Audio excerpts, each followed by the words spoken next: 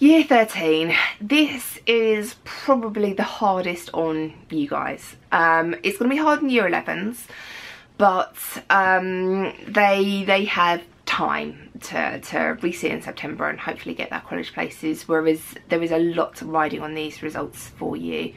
Um, your A results are going to be based on teacher judgments um, which is going to be a combination of things. The exact combination of what it's going to be hasn't been fully announced yet. So the exam boards and teachers, um, teacher representatives are still in discussion about this, but it is probably going to be a combination of your predicted grades, your mock grades, and a teacher judgment on how well you're working in class. Now, I've taught many many years and I am constantly surprised by at least one or two students in your class who have been a solid C the whole way through and then get that head down and they do work and they bring an A out the bag at the end and um, that is not going to happen this year because it's all going to be teacher judgment and the pattern is going to be similar to other years. So it's not as if you're all going to get A's and A stars suddenly overnight because the exam boards Ofqual won't let that happen um, they're going to have to give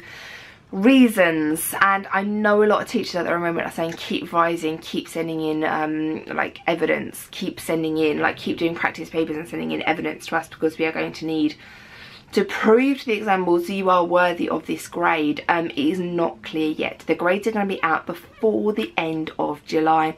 So the exam boards are not going to have time to go and check everyone's mocks um, there just isn't enough time to get that all done. So we don't know what is going to happen yet. Now in this video I'm going to talk about what to do if you're happy with your grades and what to do if you are not happy with your grades. Um, if you're happy with your grades, you've got five months off, which might seem a good thing, except you have five months off, got even six months off for some of you. Um, five months off stuck in your house with your nearest and dearest or nearest and not dearest. Um, which you know if you've got your own bedroom and a games console that's probably a nice few months for you. If you share your bedroom with your multiple younger siblings um, you're probably going to be doing childcare for the next few months um, try please try not to go completely insane while you're stuck inside the house. Get up every morning, have a shower, eat properly, try and get some exercise done, put some makeup on if it makes you feel better, um, even if there's nobody there to see it, if it makes you feel a little bit better and a little bit more human, then do it because this is going to be a tough few months to get through. Um, if you are not happy with your grades, then it is completely fair to feel angry about the situation. It is completely fair to feel that it's unfair, that the government are taking something away from you that you've worked your whole life for. Um, it, you are allowed to feel like this, but the government has done this uh, to prevent thousands of deaths. So please, by all means, mourn the, the loss of the exams that you are not sitting. But after you've done that, please try and put things into perspective.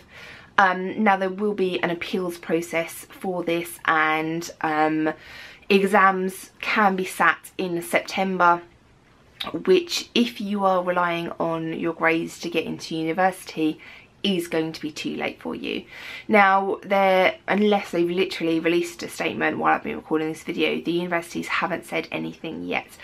But a lot of universities oversubscribe their places. So they will give out more places based on predicted grades um, they will give out more offers based on predicted grades than they actually have places filled because they want to ensure that those places are filled.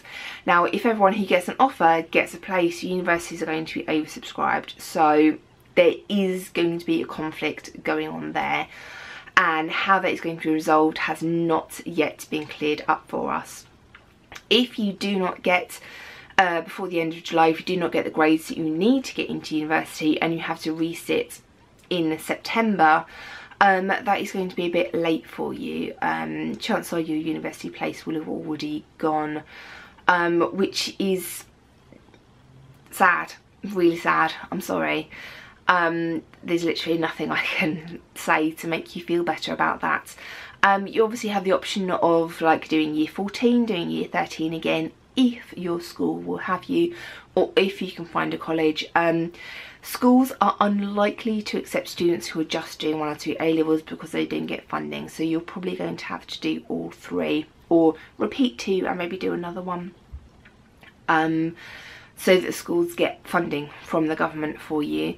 Um, it did say in there that students could sit their exams in September or summer 2021 and my impression is that summer 2021 was aimed at the A-level students uh, aimed at you guys that uh, for a lot of you that are happy September is going to be too late to do anything about it and repeating a year is going to be the most viable option for a lot of you. Um, if you do end up repeating the year then I will be here. I have lots and lots of stuff on my website to help you.